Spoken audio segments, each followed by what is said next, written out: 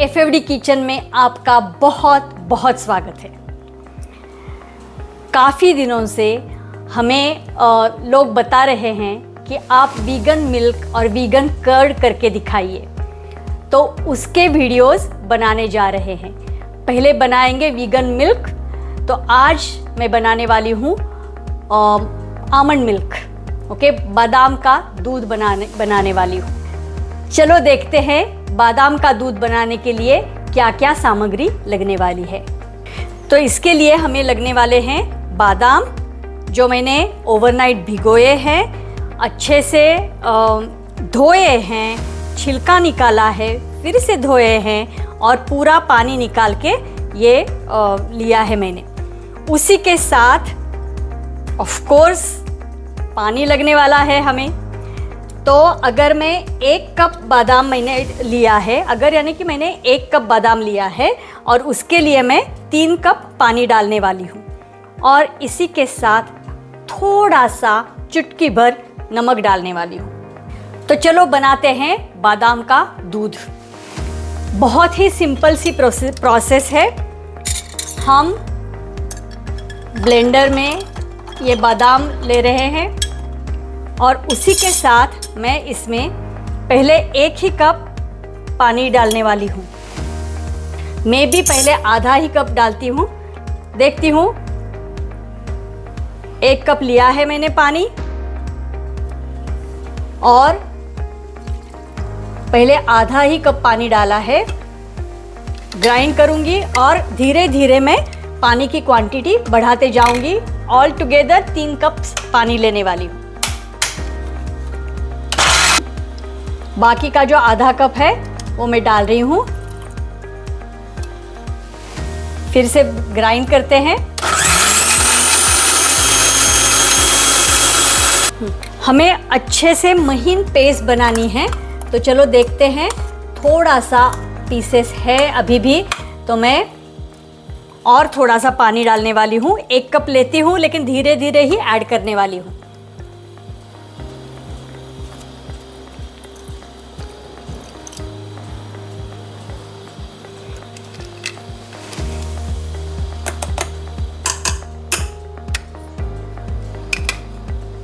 जो भी पीसेस ढक्कन में चिपके हुए हैं, वो भी मैं निकाल रही हूँ अच्छे से और फिर से वो डालने वाली हूँ मिक्सी में।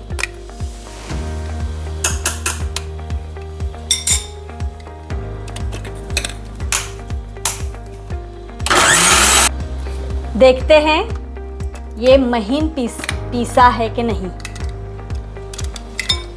बहुत ही अच्छे से उसकी पेस्ट बन गई है। अभी हम क्या कर सकते हैं ये मैं आपको बताती हूँ। जो छानना चाहते हैं वो छान सकते हैं। लेकिन मैं ऐसा कुछ नहीं करने वाली हूँ।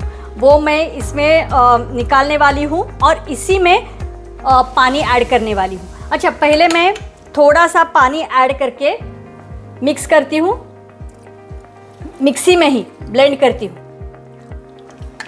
और फिर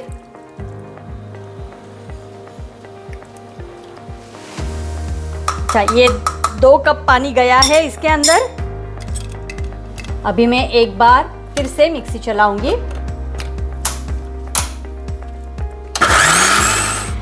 ओके, अभी दो कप पानी से हमने ये ग्राइंड किया है। मैं एक चुटकी भर नमक डालने वाली हूँ। और इसी में ये जो तैयार दूध है, वो ट्रांसफ़र कर रही हूँ। काफ़ी गाढ़ा है।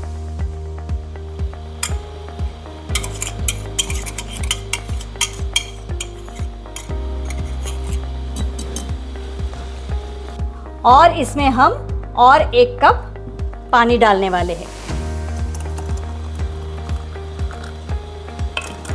अच्छे से मिक्स करने वाली हूँ। ये हो गया हमारा आमंड मिल्क नहीं तो बादाम का दूध तैयार। ये मैंने छाना नहीं है। तो शायद हम अगर गरम करने लगेंगे तो वो गाढ़ा बनता जाएगा।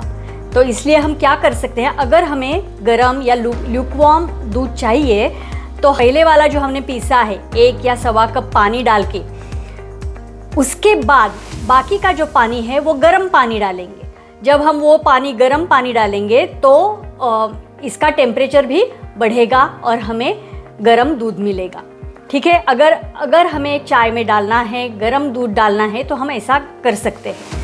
नहीं तो वो छानना है और छानने के बाद वो दूध जो है वो हल्का सा गर्म करना है। ऑल दीज मिल्क्स ये भी कोकोनट मिल्क भी आ, अगर हम गर्म करते हैं तो वो फट जाने के चांसेस है। तो कंटिन्यूसली हिलाते रहना है और बॉईल नहीं करना है बस गर्म ही करना है हल्का सा। ठीक है? तो इससे तो अच्छा है कि हम पल्प के साथ दूध लेंगे और उसमें गर्म पानी डालेंगे ताकि उसका टेम्परेचर बढ़ेगा। ठीक है?